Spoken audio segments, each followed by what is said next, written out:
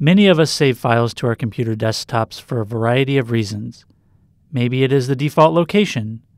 Perhaps you want to quickly access the file, or you may just not want to deal with deep folder structures.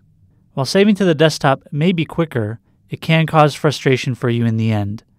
After watching this video, you will learn to recognize when it's appropriate to save files on the desktop. You will also understand that saving to the desktop should only be temporary. You should only save a file to the desktop on a temporary basis. A good rule of thumb is if a file has been on the desktop for more than a month, it's probably time to delete it or move it to a more permanent location. Generally, saving to the desktop should be used for files that require quick and or short-term access. This is especially important if you are sharing a computer with someone else. Think about your files as clothing.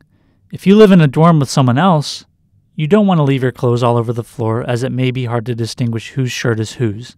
Keeping clothing in your closet is similar to keeping files in suitable folders on your computer.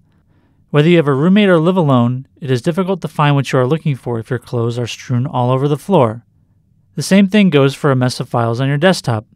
It's difficult to find clothes you need, be on time to class, or find the file you need or get your assignment done with a messy room or a messy desktop. If you share a computer login with someone else, Saving files to the desktop might result in them changing or deleting your files. You generally don't share clothing with a roommate, so you also want to avoid sharing documents, or your roommate might lose your favorite sweater.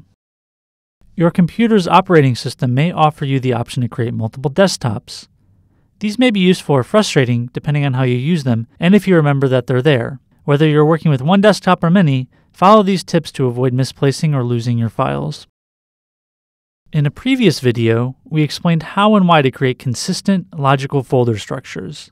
Keep that in mind when trying to organize your desktop, as moving files you want to permanently keep into logical folder structures will save you both time and frustration in the long run.